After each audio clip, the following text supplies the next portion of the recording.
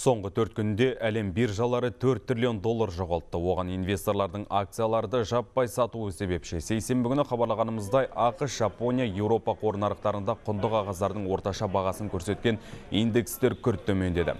Мәселен, Американың Dow Jones мен Жапонияның Nikkei бірден 4-5 пайызға құлдырады. Сонымен қатар мұнай мен металл бағасы айтарлықтай түсті. Дүние жүзі қаржы нарығының мұндай тұрақсыздыққа ұшырауына ақш орталық банкі пайыздық мөлшерлемені көтеріп долларды қымбаттатады деген қауіп себепші. Яғни инвесторлар көңілі кейінгі күндері Америка валютасына көбірек ауды.